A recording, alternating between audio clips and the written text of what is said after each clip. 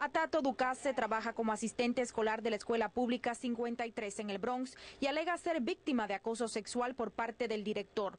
Él empezó a, hablar de mi trasero, que cosa que yo me lo encontré medio extraño, que un principal esté así con uno.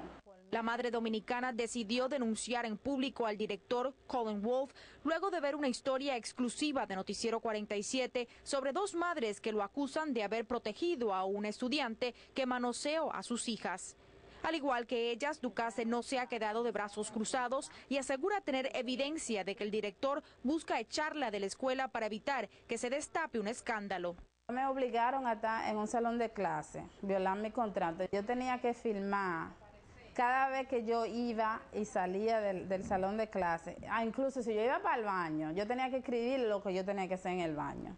A raíz del supuesto hostigamiento por parte de Colin Wolf, Ducase ahora toma medicamentos para evitar ataques de pánico y ansiedad.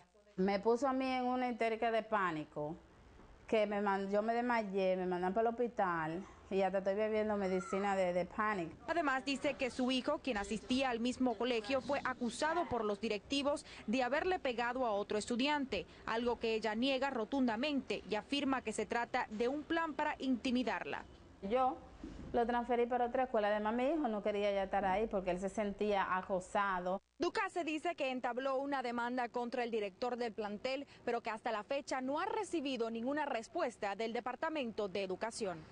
La Oficina de Oportunidades de Igualdad del Departamento de Educación nos confirmó que está investigando las alegaciones contra Colin Wolf, pero que como se trata de una investigación en curso, no pueden dar declaraciones.